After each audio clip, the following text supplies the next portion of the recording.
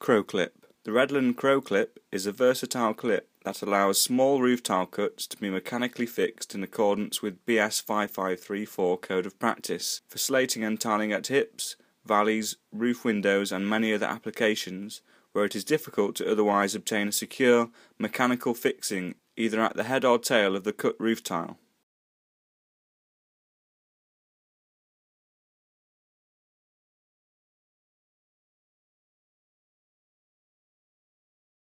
Insert the clip onto the cut edge of the roof tile by pushing the jaws of the clip onto the tile and then using a hammer to gently fully engage the clip.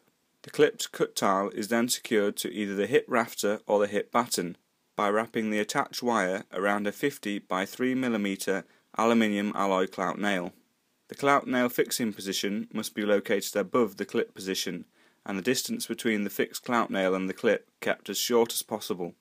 The wire wrapped around the clout nail must be secured by driving the clout nail fully home into the hip batten or rafter. Normally the Kro-clip is used in combination with Redland C-clips. Valleys.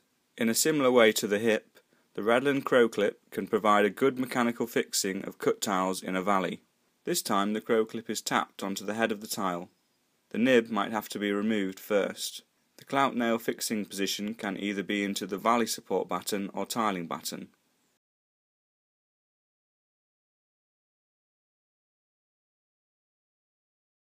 Bonding gutter.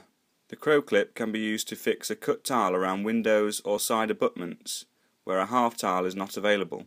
Gently tap the clip over the cut side of the tile where suitable. Insert the cut tile into place, ensuring the wire passes under the tile. Fix a clout nail onto the wooden structure above the tile and wrap the wire around it. Then drive the nail fully home to secure the wire in place. For full detailed installation instructions, please visit the Redland website.